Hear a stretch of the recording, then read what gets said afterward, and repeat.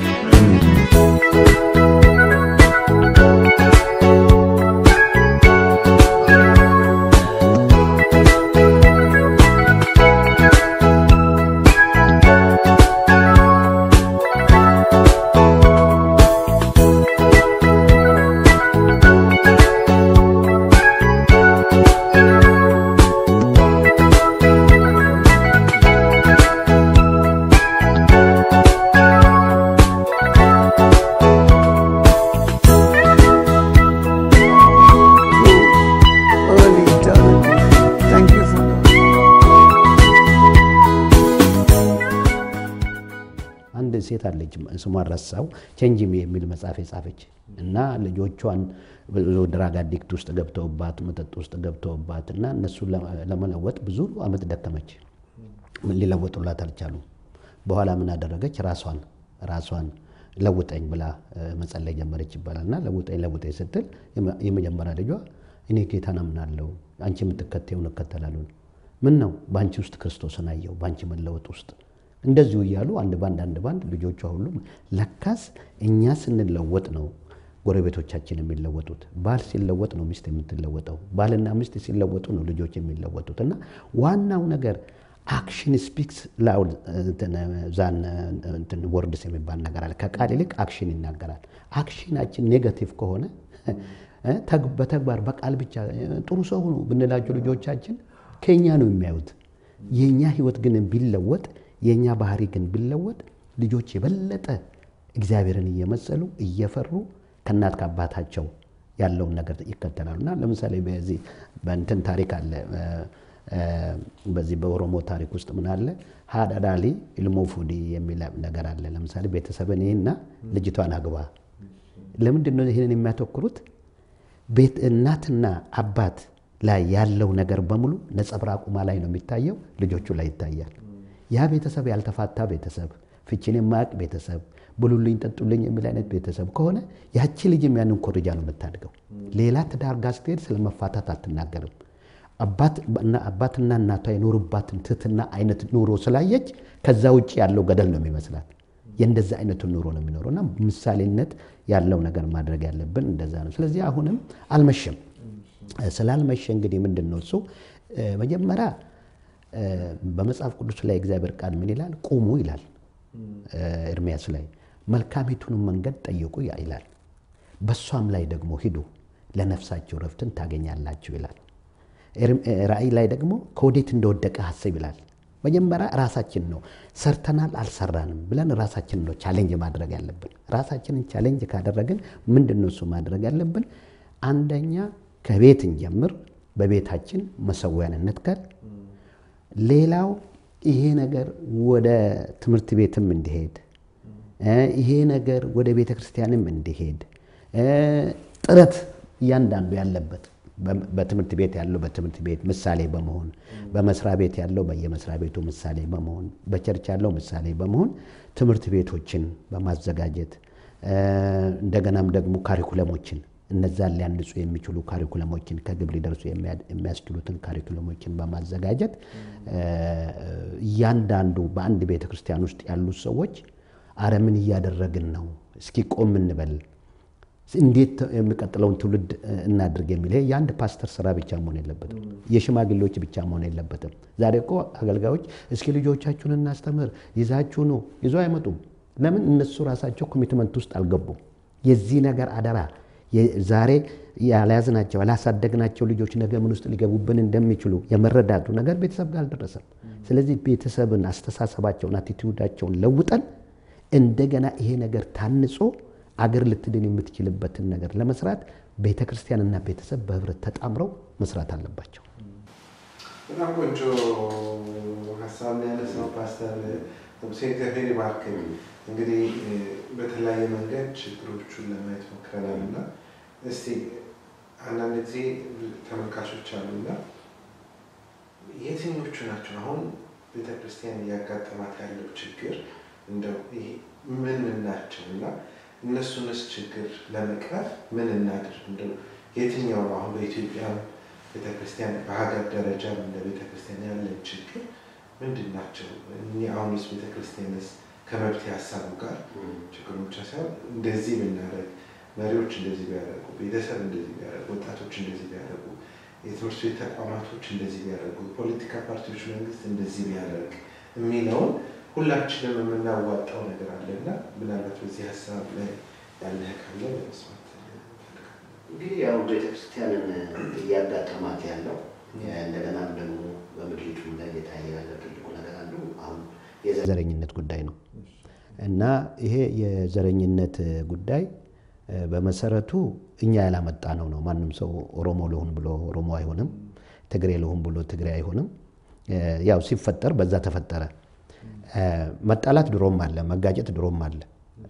ግን እኔ ከአንድ ትግሬ ጋራ ስጋጭ ትግሬ ስለሆነ አይደለም የምጋጨው የነበረው ድሮ። ከአንድ ከአማራ ጋር ስጋጭ አማራ ስለሆነ አይደለም የምጋጨው። የምጋጨው ምንድን ነው? በ idea ባለመግባባታችን ነው። ስለዚህ የማሳድደው idea ውን ነው እንጂ ሰውየውን አልነበረም። አሁን ግን ያለው ጥል ችግር ከተነሳ በዘረኝነቱ አማራ ስለሆነ ያ ደግሞ ኦሮሞ ስለሆነ ያ ከምባታ ስለሆነ የምናደርገው ግብ ግብ ነው የሚታየው ይሄ እና ይሄ በፍጹም ለሀገራችን የማይበጅ ነው። ሀገራችንን የሚጎዳ ነገር ነው። ምክንያቱም ይሄ የዘረኝነት ጉዳይ በውይ ረጋ ብለን ምንድን ነው የምንፈልገው ፍላጎታችን፣ ያ ፍላጎታችን ላይ ነው idea ውን ነው እንጂ መሟገት ያለብን በሰውዬ ውስጥ ያለውን አስተሳሰቡን ነው እንጂ መሟገት ያለብን። አማራ ስለሆነ ነው መነሳትም የሌለበት ውርድ ነው። ጋላ ስለሆነ ነው አይደለም። በእኔ በኩል ያለው ወይም ደግሞ ችግር አለ ብለን ካል እነዛን ችግሮቻችን በውይይት ቁጭ ብለን በመፍታት ነው። ምክንያቱም በውይይት የማይፈታ ችግር፣ በጉልበት የሚፈታ ችግር ሁልጊዜ ጉልበትን ነው የሚወልደው። ማንም እሺ ብሎ ሊገዛ አይችልም ማለት ነው እና እነዚህ ነገሮች ችግሮችን አምጥተዋል እና ለምሳሌ አሁን ስለ ምኒልክ ብናነሳ ልበል። አሁን ምኒልክ የዛሬ መቶ ዓመት የነበሩ ናቸው እና የዛሬ መቶ ዓመት የነበረውን ችግር አሁን አምጥተን እንፍታ ብንል ይህን ትውልድ ዋጋ ክፈል፣ ድሮ ምኒልክ ጥፋት አጥፍቷልና እንዲህ አሁን አንተ በዚህ ዘመን ያለው ሰው ይህንን ነገር ማጥፋት አለብህ ብለን ትግል በምናደርግበት ጊዜ አብረን የምናጠፋቸው ብዙ ነገሮች አሉ። ለምን እንዳንሰራ ያደርገናል። ትክክል። ይሄ ብቻ ሳይሆን ደግሞ ለምሳሌ ምኒልክ ታሪክ ናቸው። በታሪክ ውስጥ የገቡ ክስተት ናቸው። በጎ ጎን የምናገኘው አለ ከማንኛውም መሪ ከሁሉም።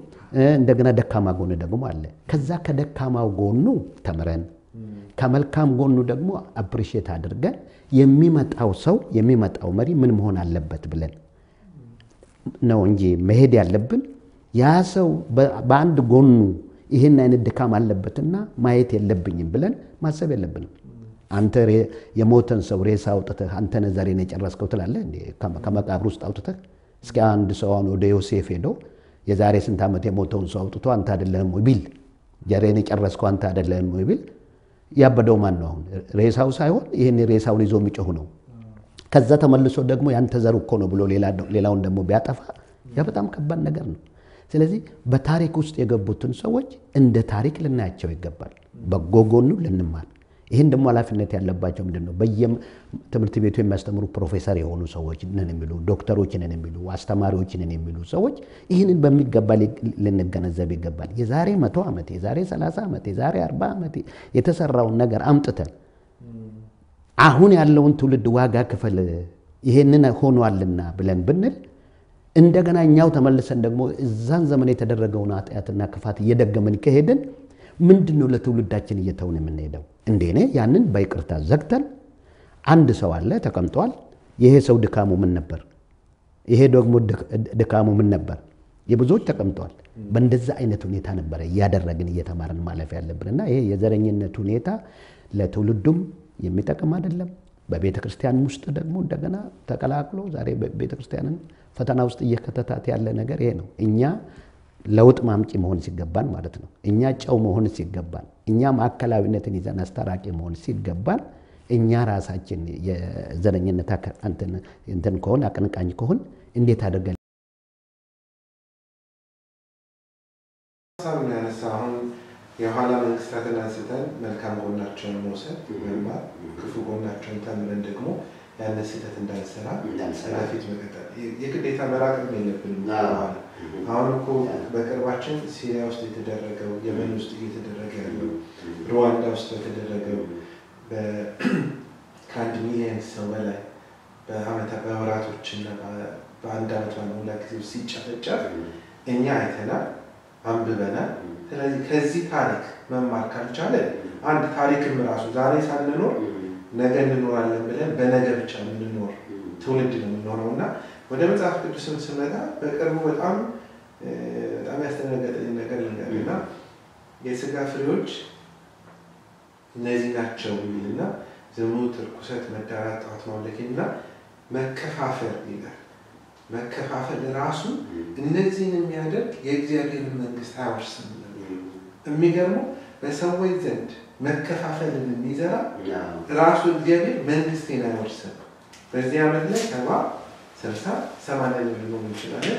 ግን ከዛም በኋላ ባለው ኑሮ ላይ የእግዚአብሔርን መንግስት እንኳን እንዳንወርስ እድል ፋንታውን ይዘገዋል። ምክንያቱም የስጋ ስራ እነዚህ ናቸው ብሎ ገልጾ ገላትያ አምስት ላይ እነዚህን የሚያደርግ የእግዚአብሔርን መንግስት አይወርስም። በእርግጥ ሌሎች ተመልካቾችም ካሉ አዲስ ሰዎችም ካሉ የእግዚአብሔር መንግስት ለመውረስ በጌታ በኢየሱስ ክርስቶስ ማመን፣ መጠመቅ፣ በእርሱ መኖር ነው። ከዛም በኋላ ደግሞ ምን ኖሮ ኑሮ ላይ ደግሞ እነዚህ የስጋ ስራዎች በህይወታችን መገለጥ የለባቸውም እና አንደኛውን ነገር ከዚህ እርስ በርስ ከሚያጣላን ነገር ክርስቲያን እስከሆንን ድረስ የዓለም ብርሃን ጨው ስለሆነ ይህን ማድረግ አለብን እና ራሱ ወንድምን የሚጠላ ነፍሰ ገዳይ ነው። ወንድም ይህ እኮ አስፈሪው የግዴታ መሳሪያ ብቻ የገደለ አይደለም፣ በእግዚአብሔር ዘንድ ገደለ የሚባል ወንድሙን የሚጠላ ነፍሰ ገዳይ ነው ስለምን በኢትዮጵያ ውስጥ እንግዲህ ሰላም እናምጣ ካለን እኔው ራሴ መለወጥ አለብን፣ እኛ መለወጥ አለብን።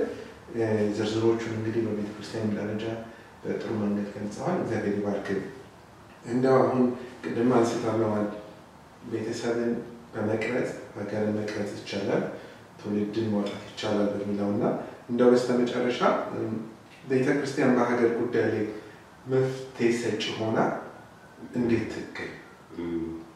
አሁን ባለው ሁኔታ ላይ ተነስተን ውጭ ሀገር ነው የሚኖሩ ሀገር ውስጥ ነው የሚኖሩ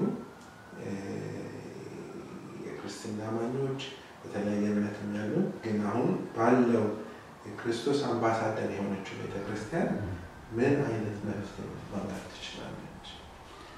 ቅድም ያልከው እንግዲህ ይሄ አሁን በነ አሁን ድሮ ይሄ ነገር የጀመረው በመካከለኛው ምስራቅ በአንዲት ሀገር ላይ ነው እና ይሄኛው movement ይህን ሁሉ ሀገር እነ ሊቢያን ሁሉ እነ የመንን ሁሉ ያዳርሳል የሚል ማንም ያሰበ ሰው የለም። ነገር ግን እንደ የጫካ እሳት አይነት ነው። ትንሽ ቦታ ነው የሚነዳው፣ ግን መመለስ የማይቻልበት ደረጃ ነው እና ልጆቻቸውን ይዘው ሲሄዱ ሲሰደዱ በየመንገዱ ማደሪያ ሲያጡ እቃቸውን ይዘው ሲሄዱ ስናይ እኛ በዚህ በኢትዮጵያ ያለን ሰዎች ይሄ እዛ ብቻ የተመደበ እኛ ጋር ሊደርስ እንደማይችል ምንድን ነው እሱ ያለን ዋስትና? ከመሆኑ በፊት መማር አንችልም ወይ? ካልተጠበስን በስተቀር እዛ ሰዓት ውስጥ ካልገባን በስተቀር ማን ነው እሱ ልጆቹን ይዞ መከራተት በዚህ ሰዓት አገጽቶ መሄድ? ይሄ ለቆ የመሄድ ሁኔታ፣ ቤተሰብን የማፈናቀል ሁኔታ በጥቂት በጥቂቱ እንኳን ታይቷል። በሀገር ደረጃ ደግሞ ሲመጣ እንዴ እኔ የእኔ ዘር ይከበር ብዬ ስል ያም ደግሞ የእኔ ዘር ይከበር ብሎ ይነሳል። ያም ደግሞ የእኔ ዘር ይከበር ብሎ ይነሳል። እና መቼም በሱ የጨበጠ አይኖርም። ያም ደግሞ ባለው አቅም ልማታ ይላል። የቱ የቱን አቁሞ ነው ይበላ የሚሆነው? እና ይሄ ነገር አደጋው በጣም ከባድ ከመሆኑ የተነሳ ቤተ ክርስቲያን እጅግ ልታስብበት እንደውም እንደ panel discussion በማድረግ የተለያዩ አስተማሪዎችን በመጥራት issue ውን indicate በማድረግ በቤተ ክርስቲያን ደረጃ በቤተ ክርስቲያን ደረጃ ዛሬ በቤተ ክርስቲያን ደረጃ እነዚህን አይነት መልእክቶች እንኳን አያይዞ ለመስበክ እንኳን እየተፈራ ያለበት ጊዜ ነው። ምክንያቱም ማን ምን አይነት ሰው በቤተ ክርስቲያን ውስጥ እንዳለ ስለማይታወቅ እና ይህንን ነገር overcome ለማድረግ የሚያስፈልጉን ነገሮች ምንድን ናቸው? በቤተ ክርስቲያን ደረጃ ሌላ አደጋ ከመምጣቱ በፊት ቤተ ክርስቲያን ትኩረት ሰጥታ ይህንን issue አንስታ እንዴት ነው እንደ ቤተ ክርስቲያን ምንድን ነው ማድረግ ያለብን፣ እንዴት ነው ይህን ነገር overcome ማድረግ የምንችለው የሚለውን ትኩረት ሰጥታ በዚሁ ርዕሶች ላይ ትኩረት ሰጥታ በየቤተ ክርስቲያናቱ ውይይቶች መካሄድ አለባት። መጀመሪያ ቤተክርስቲያን ራሷ ጸድታ፣ አዎ በፊት እንደዚህ ነበር፣ ለካኛ አስታራቂ መሆን እንችላለን፣ ለካኛ ሪኮንሳይል ማድረግ እነዚህን ሰዎች ይህንን አይነቱን አስተሳሰብ ከምድራችን ላይ እንዲወጣ የአቅማችን የእያንዳንዱ መብት መከበር እንዳለበት እናምናለን። ግን በምን መንገድ ነው መከበር ያለበት? በጉልበት ነው ወይ? በጦርነት ነው ወይ? በኃይል በመደምሰስ ነው ወይ? በቃ የሚደመጠጠውን ደፍጥጠን እንደዛ አይነት ውጤት ይመጣሉ የሚለውን ነገር ከአሁኑ ማሰብ አለብን። ነገ ልጆቻችንን ይዘን ከመሰደዳችን በፊት ነገ አስታራቂና ታራቂ ከመጥፋቱ በፊት ስለዚህ ልንመልሰው የማንችለውን ብቻ በመከራ የተገነባች ሀገር እንደ ሶሪያ አሁን ሶሪያ እኔ ተመልሳ እንደ ሶሪያ ትሆናለች ብዬ ለማለት ነገር ግን ምናልባት እንግዲህ አረቦች እርስ በርስ ይረዳዳሉ። ብዙ ቢሊዮን እኛን የሚረዳንም እኮ የለን። እኛ ብንወርቅ ምናልባት ሶሪያ አሁን በአስር ዓመት ውስጥ ተመልሳ ሶሪያ ልትሆን ትችላለች። እነሱ ያደርጋሉ፣ እነሱ ይረዳዳሉ። ምን ይላሉ? ምን ይላል? እኛ ግን መቶ ዓመትም አንነሳም። ማንም ወደዚህ መጥቶ ምክንያቱም የአረብ ሀገሩ በምን አይነት ሁኔታ እንዳለ ከኢትዮጵያ ጋር ያለ ሁኔታ ምን አይነት እንደሆነ። ስለዚህ ይሄ ከመድረሱ በፊትና እቺ ድሃ ሀገር የበለጠ ድሃ ሆና ወድቃ ማን ነው የሚኖርባት? እንደዛ ከመሆኑ በፊት አሁን ልናስብበት ይገባል። እያንዳንዱ ተማርኩ የሚል ዶክተር ነኝ የሚል ኢንጂነር ነኝ የሚል ፕሮፌሰር ነኝ የሚል ምን እያደረግኩ ነው ያለሁት? ምን እየሰራው ነው ያለሁት? ስለዚህ ምንድን ነው በሰው ውስጥ እየጨመርኩ ያለሁት? አክቲቪስቶች ሳይቀሩ እነዚህ ሁሉ በማሰብ አንዳንዱ አክቲቪስት ለእውነት የሚሰራ አለ፣ አንዳንዱ አክቲቪስት ቤንዚን የሚጨምር አለ። ምክንያቱም ያን ካልሰራ ገቢ ላገኝ ስለሚችል ሊሆን ይችላል እንጂ ያንዳንዱ የምናነባቸው የምንሰማቸው ነገሮች በሙሉ ሰበር ዜና ምን ዜና እያለ ሲከፈቱ የሚታዩት ነገር በሙሉ በጥሩ ርዕስ ከላይ ያደርጋሉ። አይ ይሄ ጥሩ ርዕስ ነው የምስራች ነው ብለን ስንከፍት፣ ነገር ግን ውስጥ ያለው የበለጠ የህዝብ ልብ የሚያረዳ ተስፋ የሚያስቆርጥ አይነት ሁኔታዎች ናቸውና ከራሳችን አንጻር ሳይሆን ከእግዚአብሔርም አንጻር ነገሮቹን እግዚአብሔር ምንድን ነው የሚፈልገው ከኔ ላይ ወገን የሚፈልገው ሌላ ሊሆን ይችላል። ዘሬ የሚፈልገው ሌላ ሊሆን ይችላል። እግዚአብሔር ግን ምን እንዳደርግለት ነው የምፈልገው? ቅናት ሁሉ እኮ ከእግዚአብሔር አይደለም። ለምሳሌ ሳውልን አይተህ ከሆነ ለእግዚአብሔር ቀናው እኮ ብሎ ነው ሲጓዝ የነበረው አይደለም። ነገር ግን እግዚአብሔር ሲፈትነውና ሲያየው ግን ለካ አይደለም፣ መንገዱን ስቷል። ተመለስ፣ የሞጋውን ብረት ባትቃወም በአንተ ይብስብሃል አለው። ለምን ሲል የምታሳድደው እኮ አንተ ቀናው ብለህ የምታሳድደው የኔን ልጆች ነው አለው፣ የኔን ህዝብ ነው አለው። ታዲያ ምን ላድርግ አለ። ይሄ ነው የሚያስፈልገው። ዛሬ ምን እናድርግ ብሎ ማሰብ አለበት። የዛሬ ንዴት ይበርዳል፣ የዛሬ ሆይታ አለ፣ የዛሬ ክብር አለ። ግን ነገ ምንድን ነው ሊያመጣ የሚችለው? በተለይ ትልቅ ትኩረት በመንግስት መስሪያ ቤት ያሉ ክርስቲያኖች ጌታን እናውቃለን የሚሉ ድኛለሁ የሚሉ ሰዎች ይሄን አንዳንዱ በንስሐ እንኳን ልንመልሰው የማንችለው ነው። በሚሊየን ህዝብ ያሉትን ከጨረስን በኋላ እነዛን ሰዎች እንኳን ልንመልሰው በማንችልበት ሁኔታ ነው ያለው እና በዚህ በሚሄድበት መንገዴ ውስጥ ልክ ነው ወይ? እግዚአብሔር አለበት ወይ? ነገ ትውልድ ይጠይቀኛል ወይ? ምክንያቱም ታሪክ ዘመናችን ሁሉ በክፉ ነው ሲያነሳ እና እኔ ምንድን ነው የምለው ይህን ተናገሬ እንትን ብል ፍቅር ነው ዓለምን የሚለውጥ። ለምሳሌ ናፖሊዮን ብትወስድ በጉልበቱ ዓለምን ለመቀየር ተነስቷል። ነገር ግን ጌታችን ኢየሱስ ክርስቶስ ሶስት ቀን በሰራው ስራ ዓለም ሁሉ ኢየሱስ ኢየሱስ ይላል። ናፖሊዮ ያንን ሁሉ ጦርነት አድርጎ ዛሬ የእሱን ስም የሚያነሳ የለም። ዛሬ የሂትለርን ስም የሚያነሳ የለም። በጉልበት አሸንፎ በጉልበት ድል አድርጎ በታሪክ ውስጥ ጥሩ ስም ይዞ ያለፈ የለም። ነገር ግን ራሳችንን በፍቅር ብንገልጥ ለምድሪቱም ለሀገርም የሚጠቅም ነገር ብንሰራ በታሪክ ውስጥ ስንታወስ እንውላለን። ልጆቻችንም እንደ ምሳሌ ሊያነሱን ይችላሉ። የሚመጣውም ትውልድ ደግሞ ብዙ ነገር ተምሮ ሊያልፍ ይችላል እና እኔ በጣም እያንዳንዱ እንደ ክርስቲያን በየመስሪያ ቤቱ ያለው ክርስቲያን፣ በየቤተ ክርስቲያኑ ያለው፣ በኦርቶዶክስ ውስጥ ያለው፣ በተለያየ አይነት እምነት ውስጥ ያለው ምን እያደረግኩ ነው ችንን ማውራት አለብን። አሁን እኮ መድረኮቻችን ላይ እኮ የምናየው እንመጣለን፣ እንዘምራለን፣ ይሰበካል፣ ይበተናል። አዎ። ያው ችግሩ አለ፣ ይዘመራል፣ ይሰበካል። ግን አጠገባችን ጋር ሰው እየሞተ አጠገባችን ላይ እየተፈናቀለ አጠገባችን ጋር እየተራበ አዳራሽ ውስጥ ነው ያለ ነው እና የእኔ መብት ይከበርልኝ ብዬ ተነስቼ የአንተን መብት ሳላስከብር እኮ የኔ መብት አይከበርም። አሁን ኢትዮጵያ ውስጥ ያለው። የተለያዩ የፖለቲካ ፓርቲዎች አሉ የምናነሳቸው፣ የብሔሩን ስም ይዞ መብት ይከበር መብት ይከበር ነው። በእርግጥ መከበር አለበት፣ ግን የእኔን መብት ሳያስጠብቅ የእሱ መብት እንዴት ነው የሚጠበቀው? አሁን እንደው በብሔር ብናነሳው የአማራው ብሔር ተነስቶ ፖለቲካ ፓርቲ የኔ መብት ይጠበቅ ብሎ የኦሮሞ ተነስቶ የኔ መብት ይጠበቅ ብሎ የትግራይ ተነስቶ የኔ መብት የደቡብ ተነስቶ ሁሉም የኔ የኔ ካለ የማንም መብት አይጠበቅ መነሳት ፈውስ አሁን በመጽሐፍ ቅዱሳዊ ቢሆን ፈውስ ከኔ ይልቅ ወንድሜ የተሻለ አድርጎ ቁጠር ነው ለአንተ ሳስብ ለሌላው ሳስብ የኔ ለውጥ የሚመጣው ለሌላው ሳስብ ብቻ ነው። አሁን ባለው system ላይ ትውልዱን እየዘረጉበት ትውልዱ ላይ ጫና ትውልዱ ላይ አረም እያስቀመጡበት ያለው የአንተ መብት የአንተ የአንተ መሬት የአንተ ቋንቋ የአንተ ግን የሌላው የሚባል ነገር የለም። አንደኛው ቅድም ምናልባት አንስተነው ይሆናል ዩኒቨርሲቲ ውስጥ ተገብቶ ለምሳሌ እርስ በርስ ገብቶ በአንድ ዶርም ውስጥ ማውራት የማይችሉ አንድ ሀገር ሆነው መነጋገር የማይችሉ ትውልዶችን እየፈሩ ናቸው። ይሄ አረም ነው። አንድ ሀገር ላይ እንግዲህ አሜሪካ ግዙፍ የሆነችው ከስንትና ስንት ከዓለም ሁሉ በቃ ዓለም ሁሉ ሀገር አሜሪካ ውስጥ አለ። የአሜሪካ ሕዝብ የማይግባባ ሰው የለም። እርስ በርስ ይግባባል። ስለዚህ የምንግባባበትን ነገር አንድ እንደ ኢትዮጵያ አውርተን መፍጠር አለብን። ቅድምም እንዳነሳ በመፍትሄ ሀሳብነት እናውራ።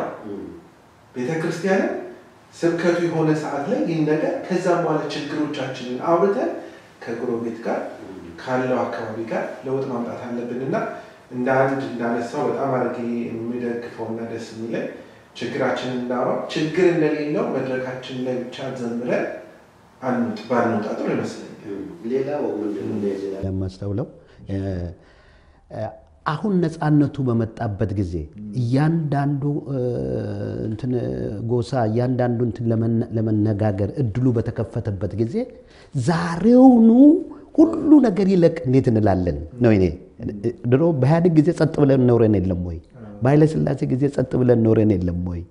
አሁን ደግሞ ያ ጸጥ የተባለው በጉልበት ነው ተጨቁነን ነው ከተባለ አሁን በሩ ሲከፈትልን አሁን ነፃነቱ ሲመጣ በአንድ ጊዜ ይወለድ ይሄ የምንፈልገው ነገር በአንድ ጊዜ ይሁን ለምን እንላለን? አንድ ሁለተኛ፣ የመጀመሪያው በጉልበት ነው የገዛን ካል አሁን እኛ ደግሞ ለምን ጉልበት እንጠቀማለን? ለምን በውይይት አናምንም? ለምን በመቀራረብ አናምንም? እና አሁን የመጣው ጠቅላይ ሚኒስቴራችን እኔ በሙሉ በአንድ ቀን እንዲገቡ ሲያደርግ እኔ በጣም ነው የደነቀኝ። ምንም እኮ ሳንሱር አልተደረገም። ምን አይነት እንትን የሚከተለው? ነፍሰ ገዳይ ነው ወይ? ጥሩ ሰው ነው ወይ? ጥሩ አክቲቪስት ነው ወይ? ምናምን አለ። እንዳለ ገብቶ ዘመኑን በእስር ቤት የነበረው ከእስር ቤት ተፈቶ ይህን ተደርጎ በአውሮፕላኑ በርግ እየተጫኑ ሲመጡ እስር ቤት ያለው ሲፈታ ሙዚየም ሲሆን እንዴት credit አይሰጠውም? ይሄ? ይኸው ይህን credit እንደምን አንሰጥም? ይህን credit ሰጥተን እስኪ የተወሰነ ጊዜ እናድርግ፣ የተወሰነ ጊዜ ደግሞ እንየው፣ እንዴት እናምጣ፣ ይሄንን? እንዴት ይለወጥ ይሄ? የሚለውን ለምን? አሁን ካመለጠኝ በቃ ችል ድል አምጣኛለችን አይገኝም። ለምን በቃ አንዴ እኮ ተከፈተ፣ የዲሞክራሲ በር ተከፈተ። ከእንግዲህ በጠመንጃ አይደለም በውይይት ነው ችግራችን የምንፈታ ወደሚለው ገባን። ይሄ ድል ከተሰጠን እንደውም ለውይይት በር ስጡን፣ ጥያቄ አለን፣ ይሄ ነገር አልተፈታልንም በሚል ወደ ውይይት የሚያስኬደንን ነገር ነው እንጂ መጠቀም ያለብን። እኔ በጉልበቴ ብለን ከተነሳን ደካማ እንኳን ይነሳል። የአቅሙን እስኪሞት ድረስ ገጀራውን ይዞ እሱም ከቤቱ ይወጣል። ስለዚህ ዛሬ ከአንዱ ሀገር ወደ አንዱ ሀገር እኔ አሁን ከዚህ ተነስቼ ሀረር ለመሄድ ፍርሃት ከገባብኝ የሀረሩ ተነስቶ ወለጋ ለመሄድ ፍርሃት ከገባበት ልጆቻ በአንድ ሀገር ውስጥ እየኖርን አሁን ሶደሬ ሄጄ እንደ ድሮ ልዝን አላለምድ በመኪና በሚሄድበት ፍርሃት ከገባ እንግዲህ ምንድን ነው ወዴት ነው እየሄድን ያለ ነው ማለት ነው። ድሮ የሁሉ ሀሳቦች ያሉ በቃ እና ይሄ ብቻ አይደለም። እያንዳንዱ ሰው ግማሹ አማራ አግብተዋል፣ ግማሹ ትግሬ አግብተዋል። እናጥራ ካልን እንግዲህ ዘመድ ለምሳሌ በኤርትራ ጦርነት ጊዜ የተጓዘው ህዝብ አብዛኛው ወታደሩ እዛ ቀርቶ ትግሬዎችን ነው ያገባው። ኤርትራ ወድኖችን ያገባለ፣ ትግሬዎችን ያገባለ። ያንን ይዘው ሲመለሱ የትግራይ ሚስቶችን በሙሉ ይዘው ወደ ገጠሩ ነው የገባው። በዚህ በጅባት በጊቤ ገባ። ያቺ ትግሬ የሆነችው አባቷ ትግሬ የሆነው ስሟን ጫልቱ ብሎ ቢቀይርም አባቷ ግዳይ ነው፣ አባቷ ተከስተ ነው እና ጫልቱ ተከስተ ጫልቱ ግዳይ አይለወጥም። አባት ገብተው ኦሮምኛዋን ታቀላጥፈዋለች። ካደገች በኋላ ትልቅ ከሆነች በኋላ ስለሆነ ያገባችው ትግርኛውንም ትችለዋለች። ነገ እንግዲህ የማጥራት ዘመቻ ይምጣ እና ከኦሮሞ ጋር ከየት ነው የሚጀምረው? ይሄ ሰው ከየት ነው የሚጀምረው? ከቤቱ ነው የሚጀምረው። ወይ እሷ እንዴ ዛሬን እየጨረሰ ሊቀመጥ ነው ወይ ብላ በተኛበት በመጥረቢያ ልትለው ትችላለች። ያኤል እንትን እንዳለችው ማለት ነው። እና ምን እየሰራ ተዋህደናል፣ አንድ ውስጥ ሆነናል። ልጆቻችን ግማሹ አማራ ነው፣ ግማሹ ትግሬ ነው፣ ግማሹ ምን ነው። ህብረ ብሔር እኮ ነው በአንዳንድ ቤት ውስጥ ያለው ህብረ ብሔር በለው በቃ በአንድ ቤት ውስጥ ያለው እና እንዴት እንደመጣ ሚስት ልጄን አንዱ ለወላይታ ድሯል፣ አንዱ ለጉራጌ ድሯል፣ አንዱ ለትግሬው ድሯል፣ አንዱ ለእንትኑ ለኦሮሞ ድሯል። እነዚህ ሁሉ ሲሰበሰቡ በአንድ ቤተሰብ ውስጥ ህብረ ብሔር አለ ማለት ነው። ይህንን የሚያጠፋ ነገር ሲመጣ ውይይት ሲመጣ ኦሮሞን ማጥፋት አለብን ሲል እዚህ ኦሮሞ ሆኖ ልጄን ያገባ ካለ ጉራጌ ሆኖ ልጄን ያገባ ካለ እንዴት ታጠፋለህ ሊል ነው። ምን አይነት ሀገር ነው ልናቆይ የምንችለው? ከዚህ ይልቅ ግን ይችን ሀገር አቆይተን ለትውልድ የምትተርፍ የበለጸገች በታሪክ ውስጥ ልዩ ስፍራ ያላት አገር ብትሆንና ወደዛ ደረጃ ብንመራት ይህንን ደግሞ ችግሮቻችን በውይይት ብንፈታ በሩ ተከፍቷል። በተከፈቱት በር ተጠቅመን ምንድን ነው እሱ ችግራቸው? ችግራችን ይሄ ነው። ምሁራኖች ገብተው የራሳቸውን ኢጎ ትተው የራሳቸውን ምኞት ትተው ሁሉም አሁን የሚታየው ቤተ መንግስት መቼ ገባው ነው ስለተገባ መፍትሄ አይሰጥም። ይሄ አሁን የያዘው ሰው ይለቃል። ሲለቅ ደግሞ ሌላው ተመርጦ ይገባል። እንደውም ወግ እናያለን። መንግስታትን የተለያዩ እንደ አሜሪካ አሁን ስንተኛ ደረጃ ላይ እንደ ስልሳኛ ናቸው፣ አርባኛ ሃምሳኛ ላይ ናቸው። ስንት መሪዎች እየመጡ ማለት ነው። እና በክፋታቸውን በምናቸውን አገሪቷን መርተው እየተቀመጡ ታሪክ እየሰሩ ያልፋሉ። እና ይችን ሀገር የአብይ ብቻ ካደረግን፣ ይችን ሀገር የታደሰ ብቻ ካደረግን አገራችን ትፈርሳለች። አገራችን ከፈረሱ ልጆቻችን ይፈርሳሉ።